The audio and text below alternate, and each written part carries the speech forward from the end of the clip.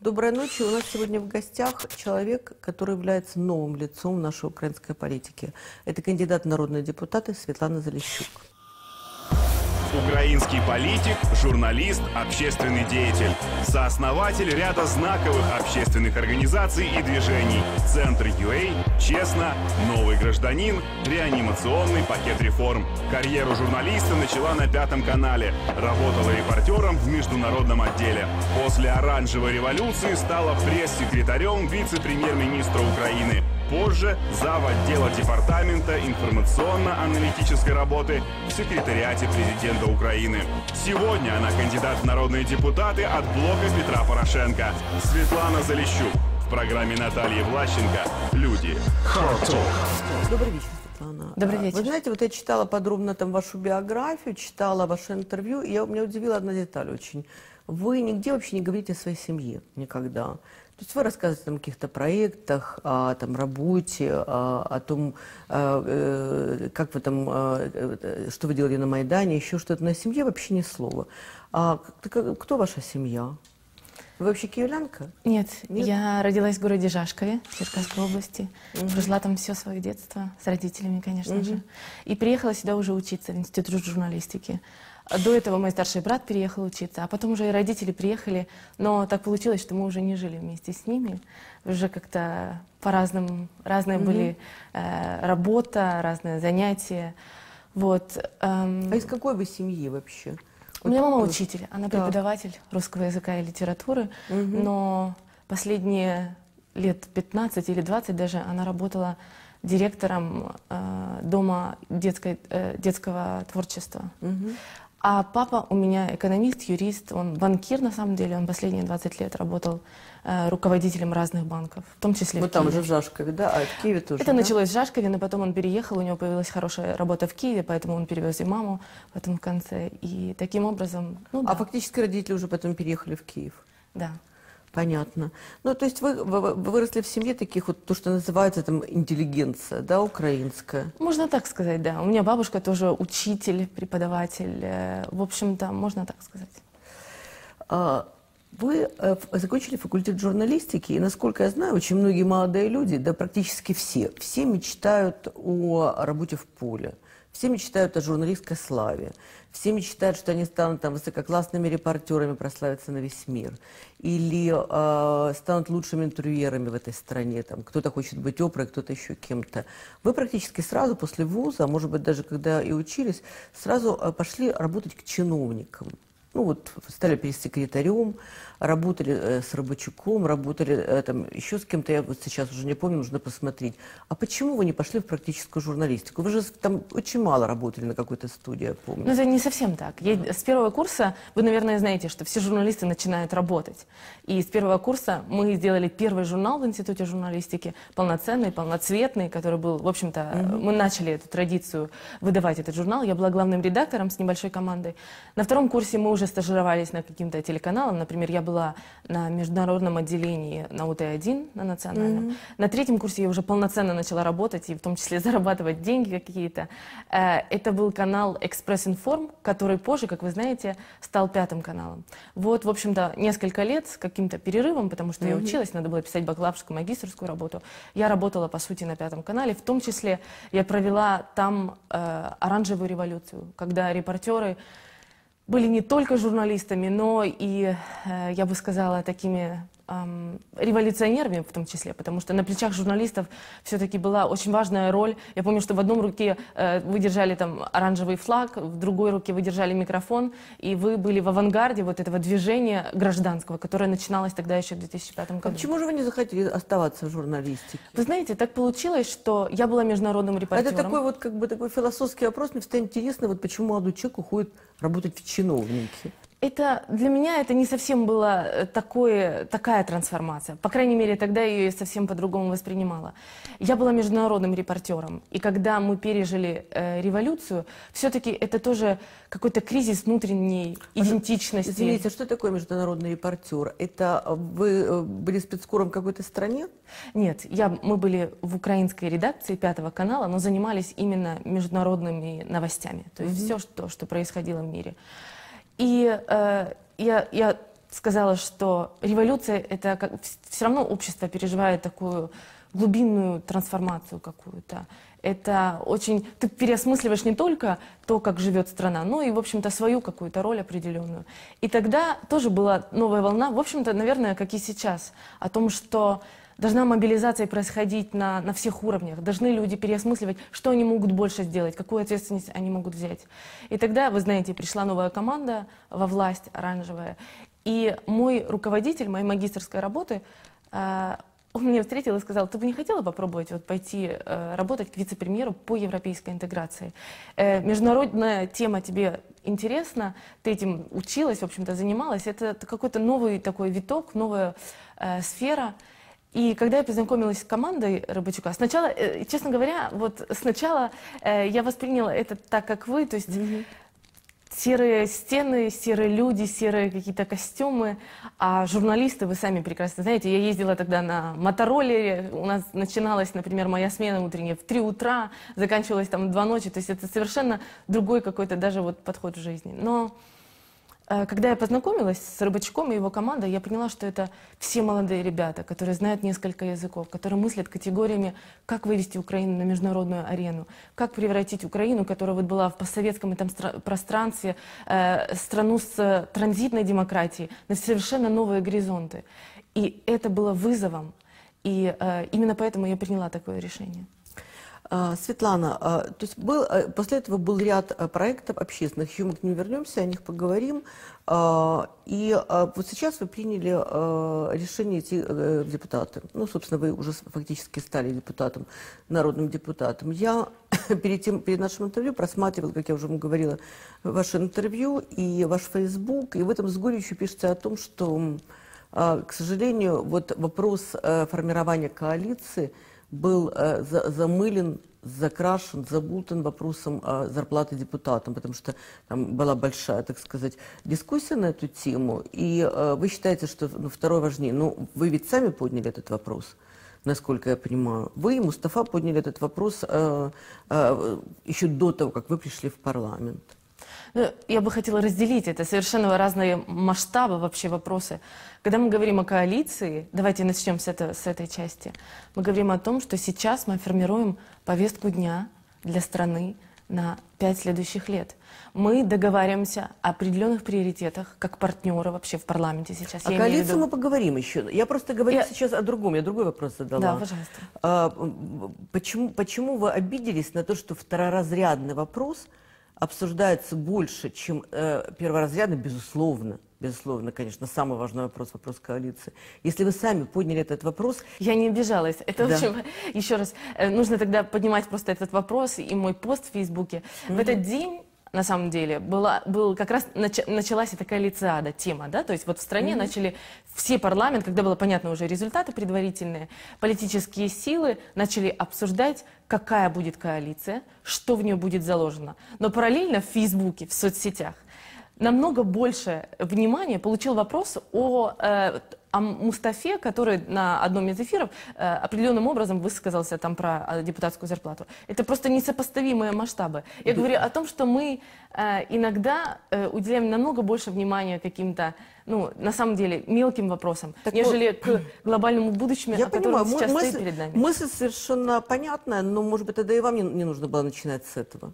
Мы не начинали. Вы не совсем, может быть, правильно Э, возвращайтесь к этому. Когда мы э, решили пойти в парламент, мы дали первую пресс-конференцию. Вышли молодые все ребята, которые пойдут по разным политическим спискам. И был один из вопросов э, журналистов, я уже не помню, кто его задал. Они спросили, как вы будете э, выживать на а, э, сейчас э, урезанную зарплату, потому что ее, как вы знаете, несколько месяцев назад урезали, по-моему, в три или четыре раза на самом деле. В рамках вот, ну, то есть, понятно, в стране экономический кризис.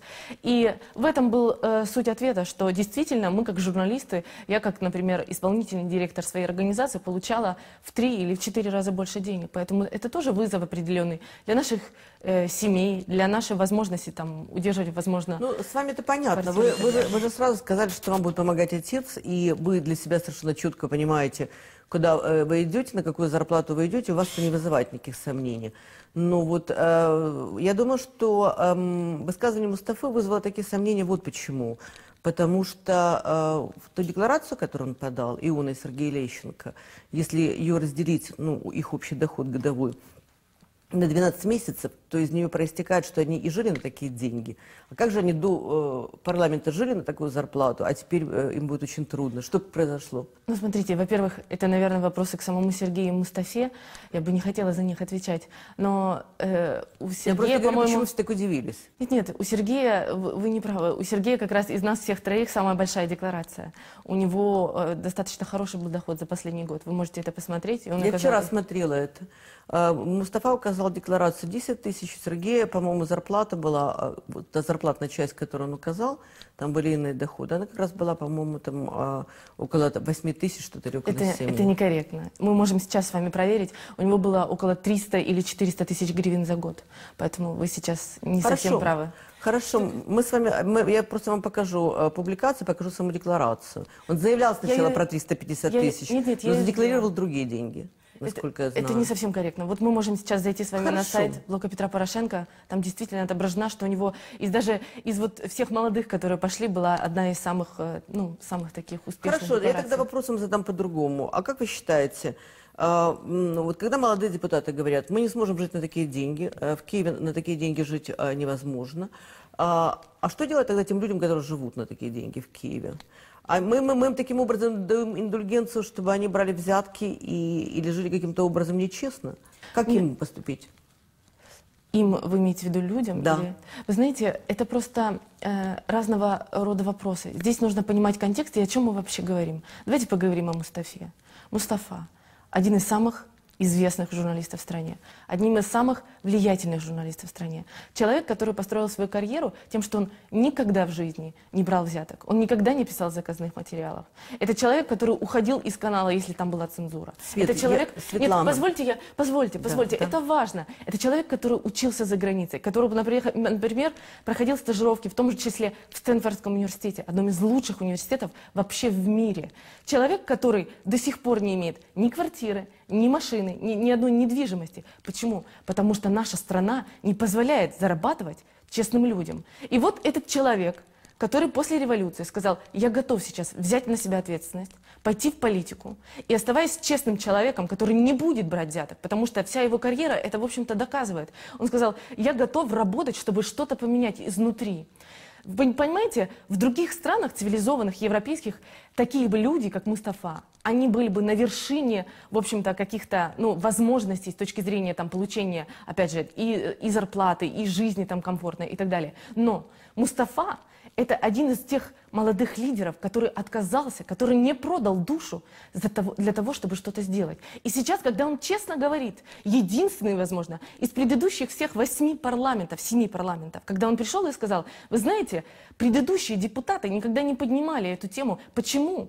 Потому что никто, никто не жил на свою зарплату. И сегодня вопрос, к сожалению, не к Ане Герман или каким-то там, я не знаю, Азарову, Виктору Януковичу, который, понимаете, они же жили Светлана. за взятки, за миллиарды и за миллионы долларов, которые они украли Ну, у страны. Нет, давайте- это очень давайте важно. не смешивать сейчас вот Нет, Анну нет. Герман, Мустафу. Вот поймите, это я очень вам важно. задаю очень прагматичный А вопрос. я очень конкретно отвечаю. Этот человек, который сейчас идет в политику для того, чтобы что-то изменить, и он честно сказал, что депутаты до этого никогда не жили на зарплату, поэтому они не поднимали этой темы. Еще раз, э, Смотрите, я не планировала так э, подробно разговаривать о Мустафе. И тем более вы две минуты назад сказали, не будем, это им нужно задавать вопросы. Но раз вы сами заговорили о Мустафе, как Вы он до сих пор, как он до сих пор жил на такую зарплату, скажите мне? Ведь он же за- задекларировал такую зарплату. Как он до сих пор на нее жил? послушайте, я э, еще раз, э, вот Ведь он же мог уйти вопрос- в бизнес или в коммерческие структуры. Э, Вот смотрите, вот если я, например, завтра пойду работать в школу, зная, какая там зарплата, я не имею права требовать, чтобы мне повысили зарплату, а другим учителям не повышали. Он не требует Понимаете? этого. Вы неправильно, не совсем правильно Я, вот я контекст сейчас вопроса. объясняю, это самое, обсуждаю с вами этическую сторону этого вопроса. Давайте вот этическую, правильно, этическую сторону вопроса нужно обсуждать в глобальном контексте. В чем самая большая проблема не в том, что Мустафа сказал, для меня эта э, зарплата маленькая. Нет, не в этом вопрос. И очень важно об этом сегодня в обществе говорить. Мы говорим о другом.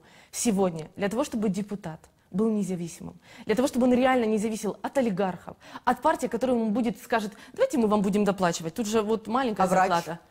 Одну а врач? Подождите. Он, он должен быть независимым? Одну секундочку, Наталья. Это еще раз. Э, мы сейчас говорим конкретно о парламенте и о депутатах. Вот давайте закончим. Я хочу закончить этот вопрос. Для того, чтобы он имел возможность реально поменять что-то в этой стране. Он должен быть независимым. В общем-то, за это Майдан боролся, за то, чтобы пришли новые люди, которые бы просто не крали. А я вам говорю, что сегодня, в общем-то, невозможно за 5 тысяч Мустафе, у которого нет квартиры, которому надо снимать квартиру, прожить за эти 5 тысяч. Но в чем речь? Он человек, который поднял и не побоялся поднять этот вопрос. Почему? Потому что он не собирается брать взяток. Потому что он сказал, что я не хочу быть зависимым и опять идти и просить у кого-то. Вы знаете, вот э, я депутат, я могу, наверное, порешать какие-то вопросы, вы мне, пожалуйста, там можете помочь Хорошо, давайте, давайте тогда, смотрите, закроем тогда вопрос зарплат, потому что я так понимаю, что на мой вопрос вы не ответили. Что поменялось за три месяца, когда человек жил на эту зарплату, а потом сказал, что не может я на эту попрошу зарплату?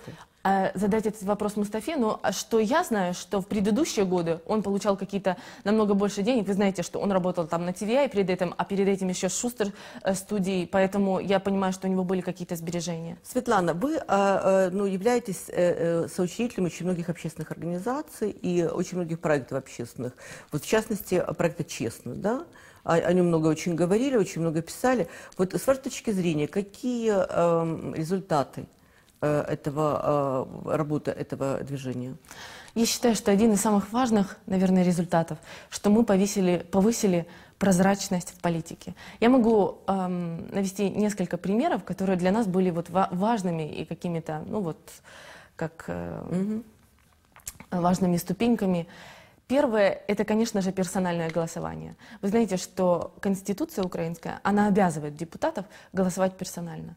Но за предыдущие 22 года украинского парламента не было ни одного парламента, где бы действительно депутаты принимали законы в конституционной способ, то есть голосовали лично. В чем вообще проблема? Это ведь не техническая э, сторона вопроса, что вот, ну, подумаешь, один нажал или там за, за троих нажал. Я понимаю, да, да в чем проблема, конечно. Я думаю, Я... все это понимают. Нет, ну, мне кажется, важно объяснить э, зрителям, что э, неперсональное голосование позволяло то, что в, депута... в, то есть в зале Рады могло находиться там 70 человек, которых э, был человек, который никогда вообще в жизни не появлялся. Например, Ахметов, да, будучи депутатом, ни одного раза и он не был в парламенте за все Один раз лет. Был для того, чтобы Я получить э, иммунитет, просто э, свой значок. Он звонил и говорил, нам нужны такие, такие решения. Это означает, что не было персональной ответственности. Это означает, что вообще ни один депутат, в общем-то, не боялся какого-то переизбрания или избирателей, или не нес ответственность за то, что был принят, например, какой-то закон, который, ну, например, там, против журналистов, которые ущемляли свободу слова, да? Э, закон про наклеп, вы пам'ятаєте, напевно, Ну, да? на, который... ну, у нас же и теперь нет закона об отзыве депутата, насколько я знаю если он нарушает э, э свои обещания, конечно, свои Конечно нет. нет. Ну и иммунитет до сих пор у нас работает, да? Именно поэтому для нас было важно, чтобы люди начали голосовать персонально. Что это поменяло? Это поменяло то, что в какой-то момент даже партия регионов, вот в 2012 году, когда они поняли, что, ага, оппозиция сейчас э, принесла новую культуру в политику, когда они лично берут ответственность за голосование, они поменяли даже, они э, по списку ушли несколько депутатов для того, чтобы зашли новые, потому что они понимали, что вот эти никогда не будут в парламенте. Есть еще несколько вещей, которые для нас были важными результатами. Это финансовая прозрачность. Э, вы, наверное, ну, не знаю, может быть, следили, в этом году это был первый раз вообще в истории компании, когда политические силы опубликовали свою финансовую э, ответ, э, отчетность по поводу того, как они проводили кампании, за какие деньги, сколько это стоило, каким образом они их потратили. Точно так же большинство партий, по крайней мере продемократических, показали свои декларации о доходах. Если вы помните, еще в прошлом году, вот летом буквально... А какие политические силы опубликовали такую отчетность? Большинство. Я, не, я, честно говоря, не видела. Вы можете это, зайти посмотреть даже на сайте «Честно». Это как раз было требование mm-hmm. движения «Честно», чтобы каждая партия дала... опубликовала? Безусловно. Значит, я это просто пропустила. Э, и более того, движение «Честно», вот как раз вам помощь, и блок Петра Порошенко э, определила как Три самый прозрачный. силы, да, опубликовали? Нет, больше. И Народный фронт опубликовал, и а, Батькивщина опубликовала, д- д- ц- ряд еще других сил тоже. Сила людей опубликовала, Гриценко полностью все, кстати, опубликовала. Значит, а, а, итоги а, э, деятельности блока «Честно» – это то, что, вот, если, так сказать, под- подвести итог нашего этого вопроса, это то, что а, перестали, на- на- началось персональное голосование. Вы считаете, что это вы были инициаторами, это благодаря вам это случилось, да, в Раде. И то, что вы а, следили за финансовой прозрачностью депутатов. Ну, не только, То есть- я только, это только но, маленькая они же, часть. но они же и раньше давали свои декларации, на самом деле. Нет, это не совсем так. Для того, чтобы, вот я как раз начала говорить, что еще летом мы подали, подали в суд для того, чтобы, например, э, даже лидер фракции партии регионов, господин Ефремов, показал свою декларацию. Он а, пообещал это сто раз, но никогда в жизни этого не, не сделал. Более того, э, Но я вы помню, получили его декларацию в итоге? Э, уже когда пришла новая власть, то есть уже Турчина, вот буквально в августе месяце, он сделал э, указ, внутреннее распоряжение, которое обязало аппарат Верховного Совета. То есть Ефремов тогда не дал вам декларацию? Лично нет. Еще раз повторюсь, что это было сделано буквально в августе. А Впервые сколько все депутаты показали декларации. Ну, я вам скажу, что ни партия регионов, ни коммунисты не показывали свои декларации. Большинство мажоритарщиков, а также часть, кстати, батькивщины, вот даже до последнего буквально момента отказывались показывать. Но, опять же, в августе было распоряжение Турчинова, который аппарат обязал сделать это, э, в общем-то, автоматически. Поэтому сейчас на сайте вы можете зайти и увидеть декларации всех депутатов. А, говорят, что э, на, я не знаю, насколько это соответствует действительности, вы сами скажете, говорят, что когда вы работали в фонде Рыбачука, вы э, занимались распределением грантов. Что такое? Не существует такого фонда Рыбачка. Что это такое? Ну, в аппарате Рыбачука. Я не знаю, в институте Рыбачука. Я, я не помню, как не точно понимаю, это о чем вы называется. даже говорите. Нет такого понятия. Вы, ну, в данном случае это Да. какой-то просто грязный пиар, который вы нашли в интернете. Это ничего общего не имеет. Я- Нет я- такого, нет что, такой что значит грязный пиар, я не поняла. Что означает распределением грантов? Ну, э, было определенное количество грантов, да? и, Где э, да, было гранты? Ну, в институте Рыбачука. Ну, э, вы, Нет. вы не правы, это просто невозможно даже отвечать на этот вопрос. Еще раз, есть фонды, которые выделяют гранты. Так, да? Это так. международные какие-то фонды. Давайте возьмем международный э, фонд «Ренессанс», например, есть, да? Есть фонд э, э, посольства СИДа, например, которое шведское, которое выделяет гранты Понятно. общественным Как, организациям. как, называлась, Рыбачук к этому- как называлась структура Рыбачука, скажите мне? Нет такого понятия, как структура Рыбачука. есть Вообще нет. общественная... ну, Общественная организация. Дайте, позвольте мне ответить на вопрос. Есть общественная организация, которая называется Центр UA. Это общественная организа- Так. организация. Она никакого э, вообще отношения к распределению грантов не имеет отношения. Как раз общественная организация, она пытается найти какое-то финансирование для того, чтобы реализовывать те или иные проекты. В Центре UA э, Олег Горбачук является э, главой общественной организации. Ну, вы же работали на гранты, эта организация работала. 99% наша общественная организация как раз работала за счет международных грантов. Но я сразу вот, знаете, когда Светлана, вы не обижайтесь. Я, совсем да. не обижаюсь. Я, Нет, я нет. просто, да, возможно, я не точно сформулировала, но просто вы имели отношение, насколько я понимаю, к распределению этих денег, которые приходили Это на разные... Нет? Это некорректно. Нет. Нужно понимать вообще природу, что такое общественная организация и как она, каким образом она работает. Я вот хочу как раз рассказать, я не обижаюсь, я просто, знаете, это как будто, э, если я скажу журналиста, что вы, например, э, э, а- а- обслуживаете э, какую-то власть, или вы работаете по заказу кого-то, это примерно вот такое же, понимаете... Нет, нет, это, не, это разные вещи Нет, нет, не Я- разные. С точки зрения работы общественной организации, это как раз так. Вот послушайте, пожалуйста. Ну вот смотрите, Есть я- разные... да. Ну, позвольте мне ответить по поводу общественной организации, потому что это очень важно, мне кажется. А, Смотрите, общественная организация во всем мире это структура, которая пытается э, делать какие-то функции, которые не выполняет Я сама понимаю, государство. Свет, ну, конечно, Волга впадает в Каспийское море, это же ясно. Простите? Орг- Волга впадает, конечно, то есть это априори понятно, что общественная организация занимается, а, она лоббирует интересы общества, и она занимается тем, что она для общества что-то делает. Я хочу как раз она перейти к существует на какие-то украинским- деньги, правильно? Хочу перейти к Да. украинским реалиям. Я хочу по- просто показать, как они работают в мире и что, что было по-другому в Украине. В Украине действительно есть очень много организаций, которые э, на самом деле есть квази-организациями. То есть они берут какие-то деньги, они безответственно их каким-то образом тратят, не добиваются никаких результатов, пишут, пишут какой-то отчет. И вот, но, наверное, так же, как и бывает очень много журналистов, которые некачественно делают свою работу, или власть, которая не служит в интересах народа. Но есть очень хорошая общественная организация, которая приносит реально пользу. И мне кажется, как раз Евромайдан, который мы пережили, как раз показал, что самыми эффективными были общественные организации, которые показывали проблемы, которые существуют. Наша общественная организация действительно финансировалась за счет международных грантов. Но чтобы вы поняли, моя общественная организация, я горжусь и считаю, что это одно из самых больших достижений. Она является одной из самых прозрачных структур в Украине. Она является лидером среди вот финансовой прозрачности в общественном секторе. Более того, каждый год моя организация проходила международный независимый аудит, когда а, независимая структура проходила каждую платежку, каждый принцип принятия решения. Не просто каким образом деньги потратились, а каким образом, кто влиял на то, как принимается это решение по поводу того, тратить эти деньги или нет, заниматься этим вопросом или нет, были ли вовлечены люди или нет, был ли э, наблюдательный совет, давал на это добро или нет. И Светлана, мы с вами все время говорим, как будто бы, вот знаете, а, на разных языках.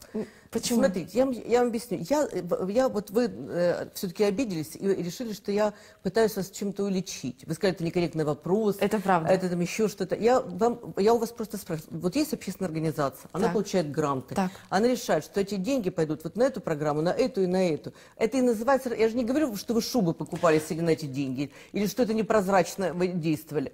Понимаете, поэтому я просто спросила у вас, действительно ли вы имели отношение к, к решению, вот что это будут деньги на эту программу, будет на эту или нет? Нет, Вы сказали, это не нет, я не имела Правильно. решения. Почему? Вот и Потому- всё. Нет, это не ну и все. Потому что, ну еще раз, э, мне кажется, очень важно смотреть в суть, потому что в чем вопрос? Распределяли или не распределяли ли гранты? Ну, тогда ответ будет банальный, да, нет, но не в этом суть. Еще раз, общественные организации, в принципе, по природе своей, они не имеют отношения к распределению грантов. К этому имеют отношение, еще раз, международные фонды. Этим занимаются посольства и международные фонды, которые существуют вот и так далее. Общественные организации – это те структуры, которые что-то делают, которые, например, мониторят работу парламента или занимаются вопросом отслеживания цензуры и борьбы с ней, чем, чем мы занимались, например, так? Или, например, информирование о европейской интеграции и донесение людей, э, людям, что это такое, например, объяснение, что такое ассоциация, э, соглашение об ассоциации, объяснение вот этих 1400 страниц, чтобы люди понимали, что это Чем им вы даст. планируете заниматься в парламенте? То есть есть ли у вас какие-то интересы, какие-то приоритеты? Безусловно. Как раз вчера мы обсуждали э, распределение по комитетам Верховного Совета. И для меня есть, наверное, три приоритета, чем бы я хотела заниматься. Первый вопрос – это избирательное законодательство. Второе – это европейская интеграция. И третье – это свобода слова. Это то, что мне близко, и в один из этих комитетов я бы хотела пойти работать. Что касается избирательного законодательства, вы, наверное, знаете, что последние несколько лет вся общественность была за то, чтобы поменять, наконец-то, этот закон, который был принят, э, его называют Януковичский закон. Почему? Потому что он, он несправедливый, он не позволяет обществу действительно выбрать тот парламент, который бы отражал их Как, бы, как быстро можно, с вашей точки зрения, поменять выборное Вы законодательство? знаете, в первые несколько месяцев можно поменять. Единственное, что мы говорим сейчас об избирательном кодексе, который э, речь идет не только об э, из, э, пом- м, поме- м, смены избирательной системы во время парламентских выборов, но также на местных выборах, президентских выборах, законодательство о референдуме и так далее. Это, это комплексная реформа, которая позволит ну, принести немножко другие правила вообще в общество, каким образом мы выбираем э, своих депутатов. То есть вы верите, что реформирование возможно будет провести в ближайшие месяцы буквально? Ну, потому что прошло 8 месяцев, реформу, э, реформа так и не... Ну, заключением может быть...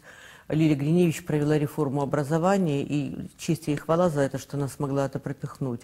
А э, можно, будет, можно будет в ближайшие месяцы это делать, начинать наконец? Позвольте я тогда вот скажу про то, что было за 8 месяцев, и вот э, мое ощущение, то, как может быть.